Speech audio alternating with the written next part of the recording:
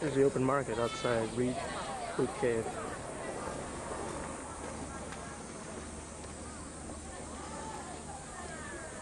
Professor Tong. Better than a moving bus.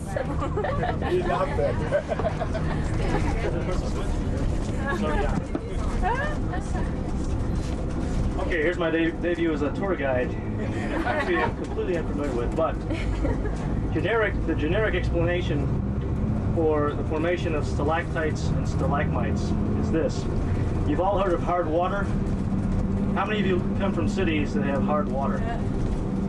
Okay, I come from Chicago, and the basement rock is made out of a similar material, similar to limestone, it's called dolomite. The thing is, this material dissolves in water. And when the water evaporates, the stuff, the mineral gets left behind. And that's what we call hard water. The same material is what makes up the stalactites and stalagmites in the cave that we see. Now, first you may ask, how do the caves form? The caves form because the limestone is dissolved by rainwater. Rainwater is slightly acid, okay? Completely distilled, pure distilled water is neutral. That's a pH of 7.0. Okay? You probably heard of pH balanced shampoos and stuff like that. All that means is the shampoo is slightly acid rather than a little alkaline. So when rain falls, some of the carbon dioxide in the air dissolves in the rainwater, making it slightly acid. And over geologic time, over thousands, maybe millions of years, this slowly dissolves the calcium carbonate, which is the mineral that makes up the limestone.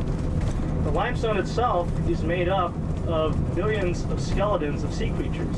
Okay, you've seen clams, you've seen snails.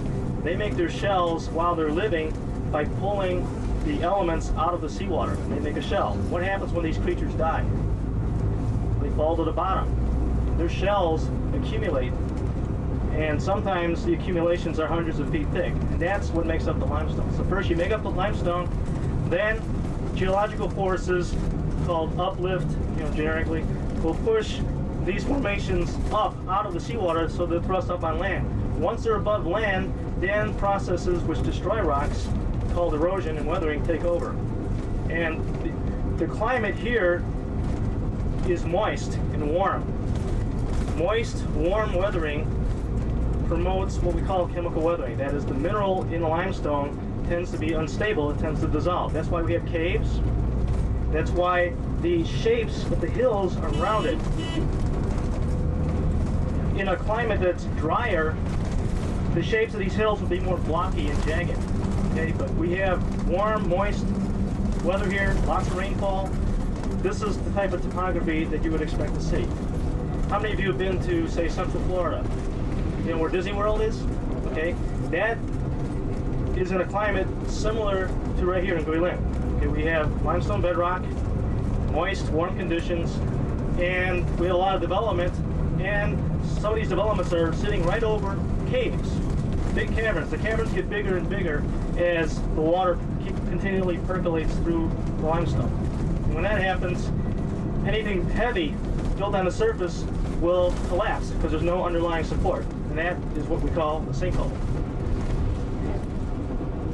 Okay, so the stalactites are formed by what we call precipitation. Okay, that is solid material forming out of the dissolved substances in the hard water. As it drips slowly, some solid material forms. Very thin layer. So layer by layer, kind of like watching an icicle freeze and get longer and longer. Okay? So what these are are icicles made out of minerals. It takes a long time. It's a very slow process. Some of the drops reach the floor and build their way up. Those are the stalagmites. So these get taller and taller, whereas the ones dripping from the ceiling are stalactites, and they get longer and longer. When stalactites and stalagmites happen to meet together, then they form what we call a column. Some of these stalactites and stalagmites have um, different colors. You may have seen um, bands of brown or red or yellow. notice that they're not all pure white. Okay? These stains are caused by iron oxide, rust. These substances are always dissolved in normal groundwater anywhere. Okay, that stuff gets picked up. Water dissolves almost everything it touches, so wherever the water runs, it's going to pick up these other elements. And iron oxide is a very good coloring agent. You need very little of it to uh, discolor or color the, uh, the formations.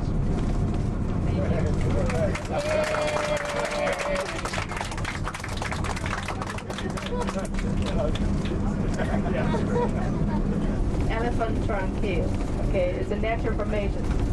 Okay. No, just for the photographs, that one. Okay, no more steps for that one.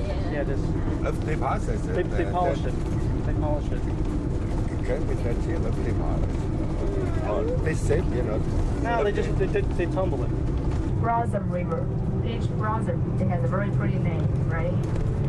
Well, we have two main rivers in Guilin. One is Peach Blossom River going from the west to the east, and Li River going from the north to the south. Those two rivers have a connection in the city at the Elephant Trunk Hill. There comes on the right. This is the Elephant Trunk Hill. Looks very much like an elephant stretching its trunk into the river, try to get a drink. Oh yeah. Okay.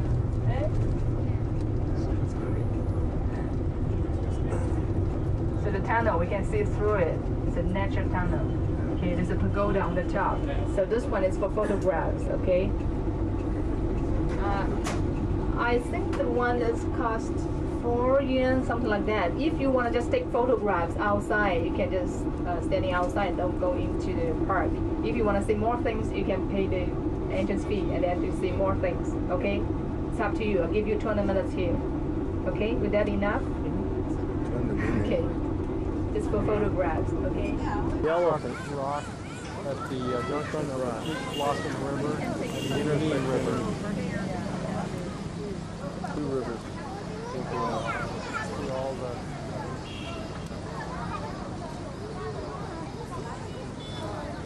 hanging down there.